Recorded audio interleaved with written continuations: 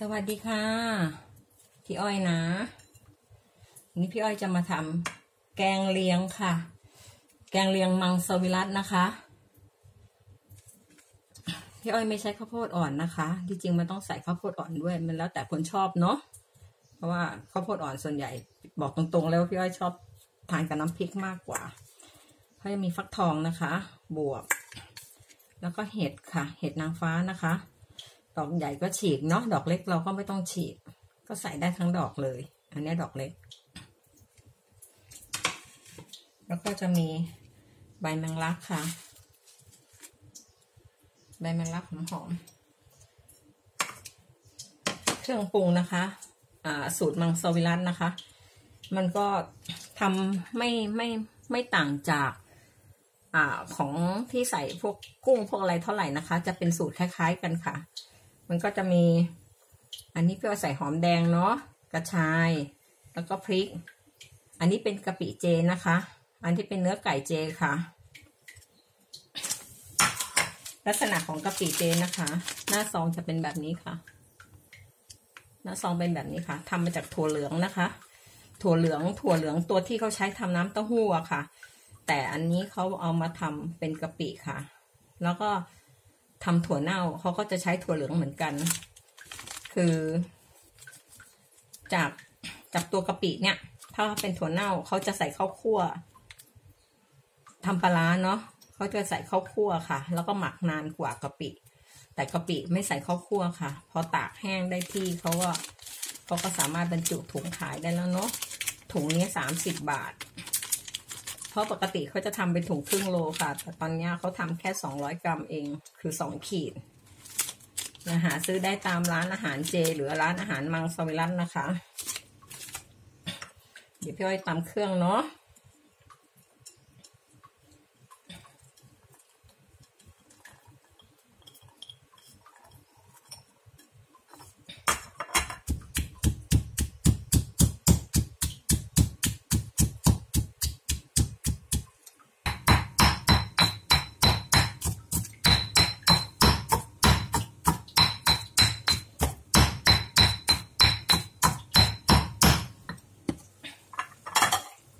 ในระหว่างพี่อ้อยตำเครื่องพี่อ้อยจะตั้งน้ำไว้เนาะ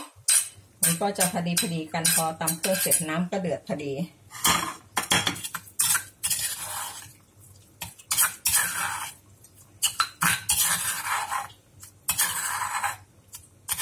ไม่ว่าจะเป็นอาหารเจหรือมังสวิรัตหรืออาหารคาวพี่อ้อยจะเน้นแบบรสจัดนะคะ ก็จะเป็นแบบสูตรดั้งเดิมซะมากกว่า แล้วเรามาดัดแปลงเอานะคะ เพื่อคนที่ทานเจหรือทานมัง จะได้ ไม่ต้องอดทานอาหารที่เราชอบเนาะอันนี้ค่ะเสร็จแล้วค่ะจะหน้าตาเป็นอย่างนี้นะคะ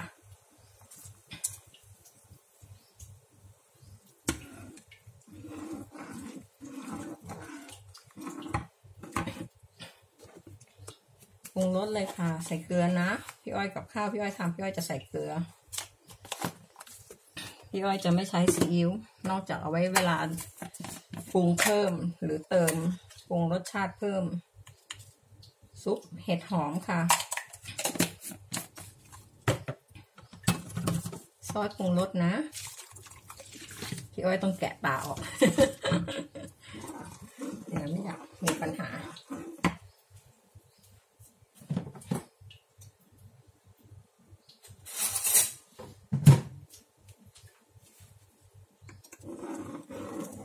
อั นี้ต้องชิมนะคะ เพราะว่า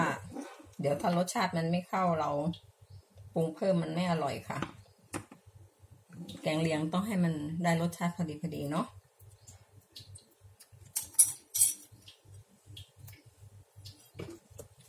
หอมเค็มค่ะ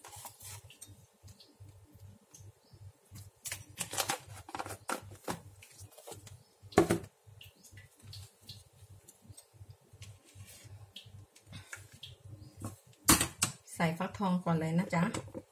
พี่อ้อยใช้มือนะ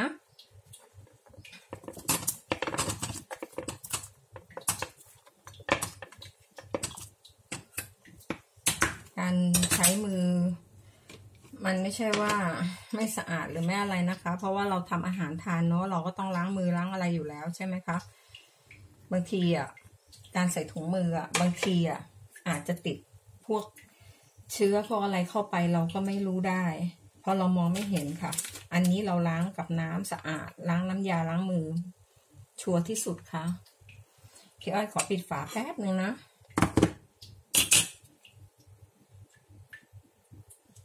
เดือดแล้วค่ะ พี่อ้อยใส่ผักอื่นเลยนะใส่บวบเลยค่ะ บวบกับเห็ดนี่ใส่ลงไปเลยนะหม้อเล็กไปนิด รั้งแรกคิดว่าจะทานคนเดียว นี่ลูกลงมาบอก จะทานด้วย ก็เลยต้องเพิ่มของลงไปขอปิดฝาอีกนิดนึงนะจ๊ะ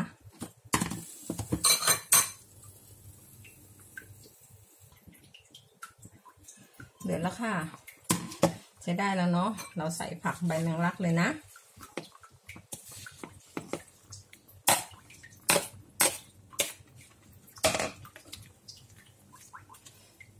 ใส่ใบแมงลักแล้วปิดเตาได้เลยนะคะ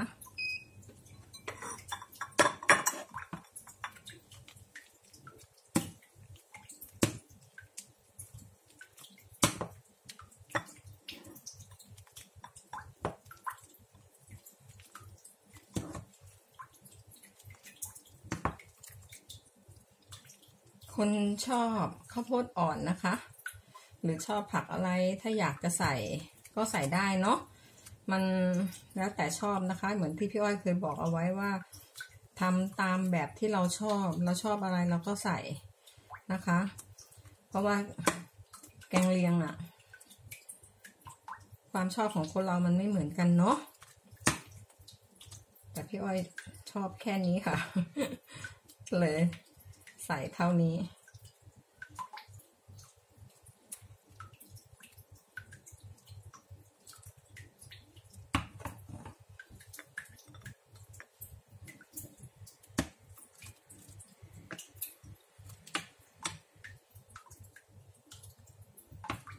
มาค่ะ